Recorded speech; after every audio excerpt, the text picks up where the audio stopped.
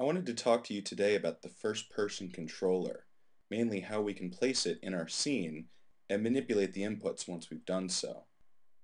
Now you can see under the Hierarchy tab we have a main camera, and that's put in there by default, but we don't necessarily want to use that when we're running our game. To locate the first-person controller, go under your Standard Assets folder under your Project tab, click on the arrow to release the drop-down menu, and click on the arrow next to prefabs. You can see the first-person controller and its contents in this file. To place this controller in your scene, simply click on the first-person controller and drag it into your scene. From there you can see all of its attributes are shown under the inspector and from there you can simply manipulate its position. Now if I go ahead and run this you can see that I've got a first-person controller and I can move forward and backward. I can use my mouse to look up and down, and I can use my left and right arrows to pan back and forth. As you can see, if I hit my left arrow and my right arrow, all it's doing is panning back and forth. What I'd like to do is change the input so that when I hit my left and right arrows, it tilts the view of the camera rather than pans back and forth. So what I'm going to do, I'm going to get out of game view, go back to my scene. I'm going to go to the Edit menu, locate Project Settings, and select Input. What that's going to do is bring up the Input Manager in my Inspector tab.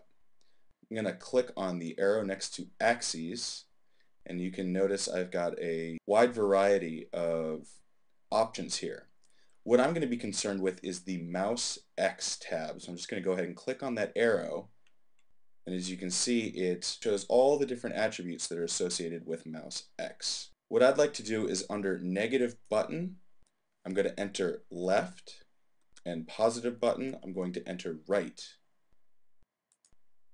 I'm going to then go up to my horizontal tab, and where it says left and right, I'm going to delete those attributes and do the same for alt negative button and alt positive button. What those are are your alternative buttons, so A and D translating to left and right. I'm going to go down and add those attributes A and D for the Alt negative button and Alt positive button under mouse X. Just another thing to make sure of, under type, I want to make sure that I've selected key or mouse button. By default, it's going to select mouse movement. So I want to make sure that I have key or mouse button selected when I make these changes. Now if I go ahead and run this, you can see that I can move forward and backwards. I can tilt up and down with my mouse. And when I go left or right, it will tilt my camera left or right, but you can see it goes very, very fast.